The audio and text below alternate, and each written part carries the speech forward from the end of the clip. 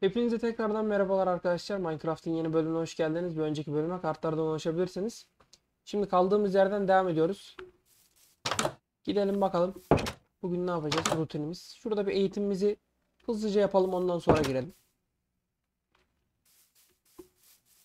Hemen şuradan.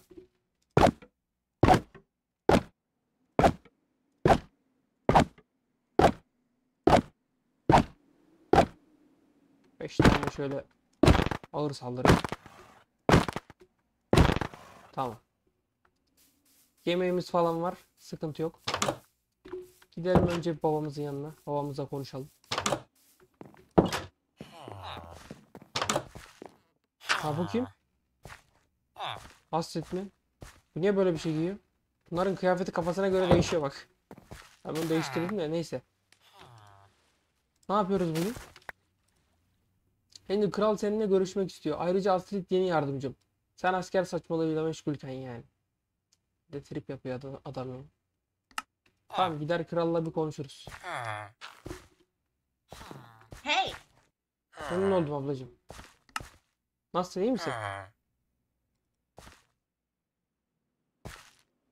Umarım sorun çıkarmaz mıyım?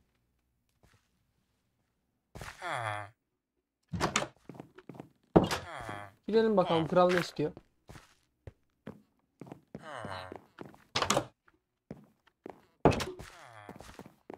Kralım.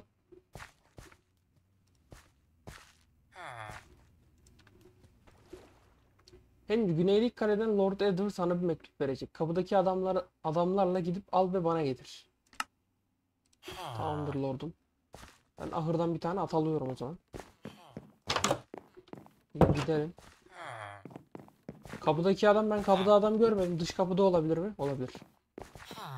Gidelim şuradan hemen bir at alalım ahırdan.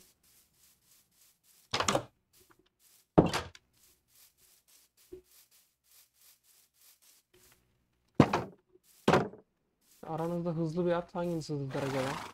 Sen hızlı mısın acaba? Bakayım bir. Gayet hızlı, gayet hızlı.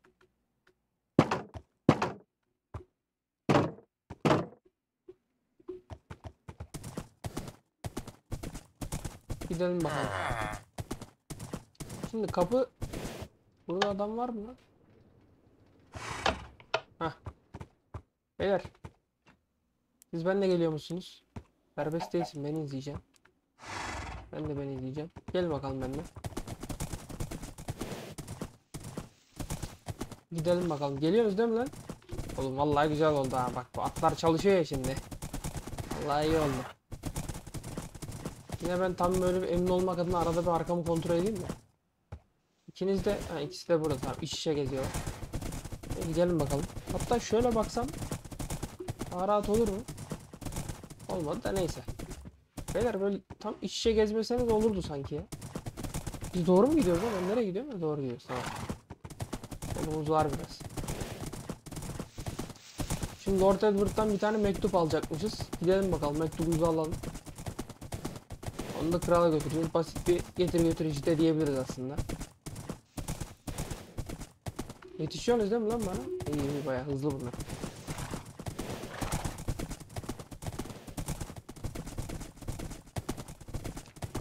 Beyler. Konumuzu koruyun. Ben altı iki dakika şuraya bağlayayım.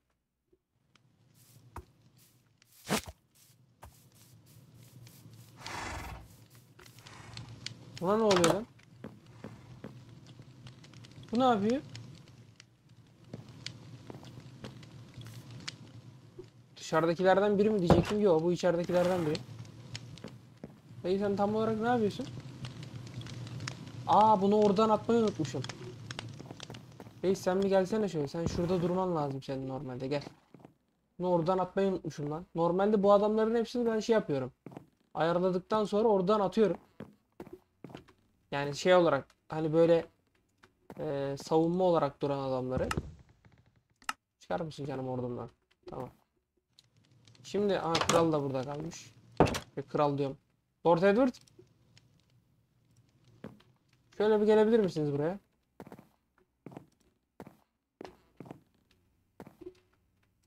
Tamam. Lordum şimdi bir mektup varmış benim almam gereken. Henry sen olmalısın. Evet Henry benim. Bu mektubu Kral Arthur'a götür ve sakın açma. Tamamdır ben gidiyorum o zaman. Şimdi buraya bir gezelim hemen. Hızlıca bir kale turu. Burası böyle yemek odası tarzında bir yer. Şimdi Lord Edward'ın olayı da şu. Lord Edward içkilere çok düşkün bir adam. Sürekli burada kendisi bazı karışımlar yapıp böyle güzel içkiler falan deniyor.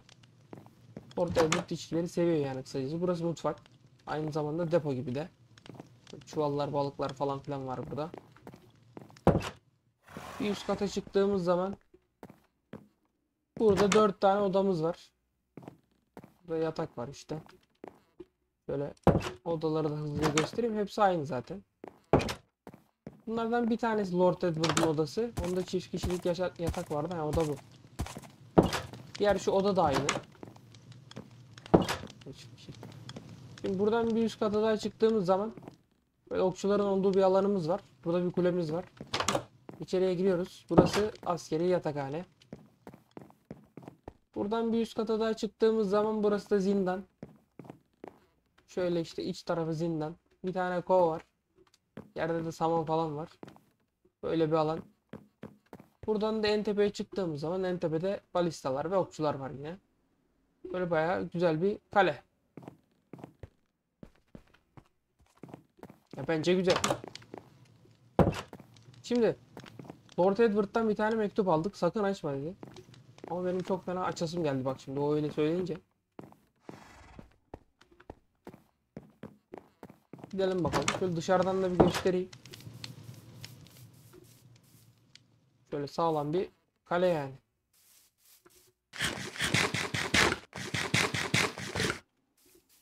Tamam beyler gidebiliriz.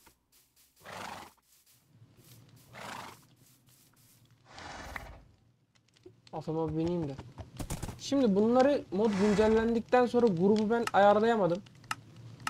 Modun yapımcısıyla ben bir konuşayım da. Yani gruplara ayarlayamıyorum adamları. Onu bir şey yapayım. Şimdilik yine şöyle manuel elimle beni takip edin emri vereceğim. İşte iç içe girdiği için bunlar. Biriniz gelin bakayım lan. Lan serbest mi? Vermişim. Ben izleyeceğim. Sen de beni izleyeceksin. Gelin bakayım benimle. Gidiyoruz beyler. Geri dönüyoruz. Oğlum şunu yolda bir okusam mı ya? Çok merak ettim. Açmadım ya. mektubu okusam ne olabilir ki? Kimseye bir şey söylemezsek. Kral Arthur dolarlar bir orduyu toplanmaya başladı. Bak şimdi. Biliyorsunuz e, yorumlarda sizden de istemiştim. Şeyler için nedir onun adı böyle işte krallıklar için isimler vesaire şey yapmıştım. Şimdi telefondan bir bakmam lazım. Not almıştım. Bayağı bildiğin Google'a girdim, çeviriye girdim. Türkçeden Latinceye kelimeleri çevirdim. Bak şimdi doların e, dolarlar böyle savaşçı anlamına gelen dolar kelimesi. Savaşçı anlamına gelen bir kelime ama birden fazla anlamı da var. Direkt çevirince ağrı anlamına da geliyor veya acı anlamına. Savaşçı anlamında kullandım. Kral Arthur dolarlar bir ordu toplamaya başlamış dediği dolarlar yani kuzeyliler şu an. Bizim e, evrende. Sıfırdan bir şey olsun istedim. Hani böyle işte Viking'miş yok Saksonmuş tarzı on- onları kullanmayacağım. Bazı paralı asker klanlarıyla konuşmuşlar bile. Bizim de hemen paralı asker almamız gerek. Dolarların ormanına girmemiz imkansız. Nehir kıyısında ya da kendi bölgemizde savunma yapmalıyız. Şimdi bunlar dolar. Savaşçı anlamına gelen bir kelime yani. Dolarlar diye böyle. Ee, biz e, kustoslarız. Kustos da Justos diye yazılıyor da. O da muhafız anlamına gelen bir kelime. Tabi yine bu savaşçı anlamına gelen de birkaç tane kelime var. Onları da diğer krallıklar için kullanırız. Şimdi beyler bir gelin bakayım. Geriye dönelim hemen şu şeyi bir krala iletelim. Oğlum bak sıkıntı var. Bu dolarlar ordu topluyorsa siz bana yetişebilir. Az önce yetişiyordunuz siz. Niye böyle oldu?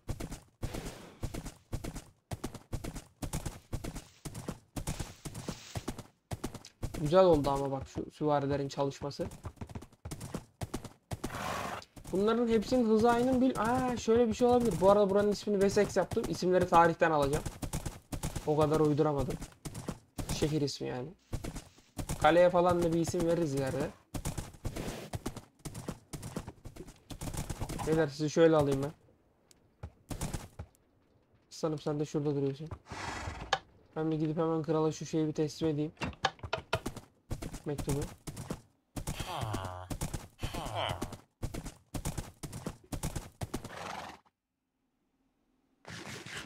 Şurada içeriye sokalım tekrar. Gel bakayım aslanım. Hemen gidelim kralı teslim edelim sonra yatıp uyuyalım. Şimdi bak bilmiyormuş gibi yapmamız lazım. Yakında bir savaş çıkacak gibi ama. Krala direkt verelim böyle. Hiç olmamış gibi. Kralım. Mektubu getirdim. Şöyle buyur. Ee, benden istediğiniz başka bir şey var mı? Evet, nehir kıyısına gidip nehrin karşısını gözleyin. Sakın nehri geçmeyin. Sadece gözlemleyip geri gelin. Tamam kralım, bu işi yarın hallederiz. Şimdi biz bir yatalım da. Önce karanlığına kalmayalım. Bu arada şu emir kısmından da size bazı şeyleri bak anlatayım hızlıca. Bu arada bak bu kapının girişine ışık lazım. Hallederiz. Bir yatalım şurada tekrar. Şimdi hızlıca şurayı bir özetleyeyim. Şurada bak bir sürü emir var. İşte in, bin. Bunlar attan inip attan binme. Kalkanlar kalkan tutuyorlar önlerine. Ee, bu ne? Tam sığmıyor yazı şeye de. Lan bunu nasıl okuyacağız bunu?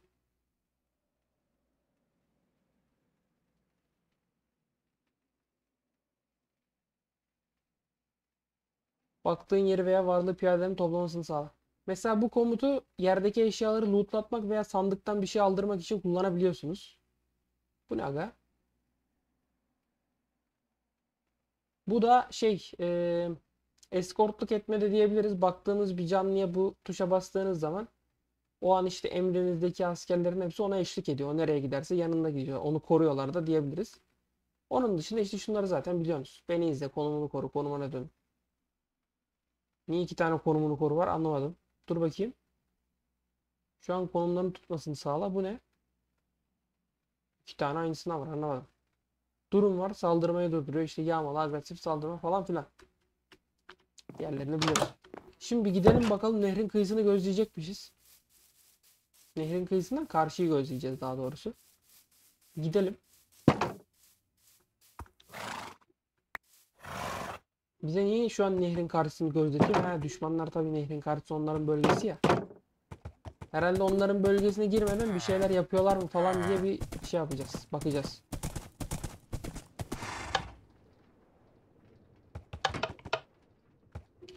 Beyler sizin gelmenize gerek yoktu. Hadi siz de gelin. Gelin bakayım anne. Nehrin doğru gidiyorum değil mi lan? Yanlış. Nehir şurası. Nehrin kıyısına bir gidelim bakalım. Karşıya ge... Oğlum orman yanıyor. Harbi harbi orman yanıyor şu an. Bayağı da bir yanmış zaten.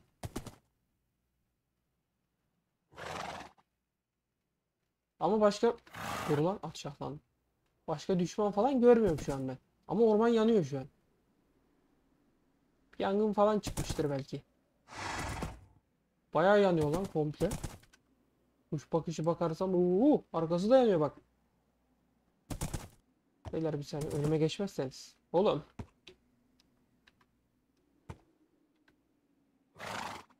Bayağı yanıyor lan arada. Tamam beyler geri dönüyoruz. Vallahi düşman yok ama orman yanıyor cayır cayır. Başka bir sebebi de olabilir gerçi onu tam anlamadım da. Neyse biz gene gördüğümüzü söyleyelim krala. Sen şurada dur. Öbürü nerede? Gel aslanım sen de şurada dur. Tekrar bir içeri girelim. Ben şu atı habire içeri sokmayayım ya. Şunu dışarıya bağlayayım.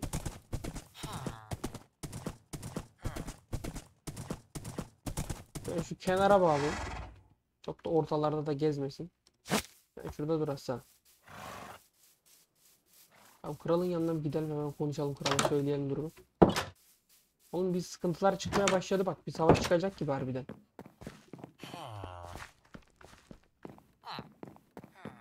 Niye öne geliyorsunuz lan habire? Beyler şöyle köşeye geçer misiniz? Rica etsem.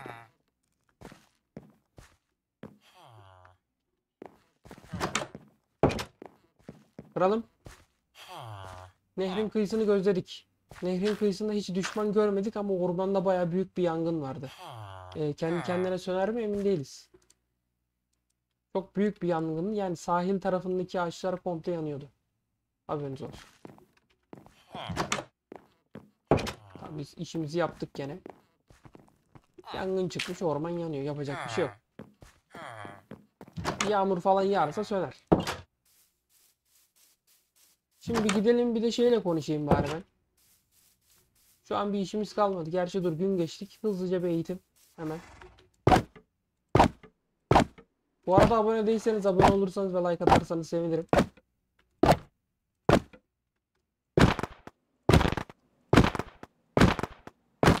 Tamam. Bir gidelim şeyle konuşalım rahiple. Belki bize bir şey öğretir.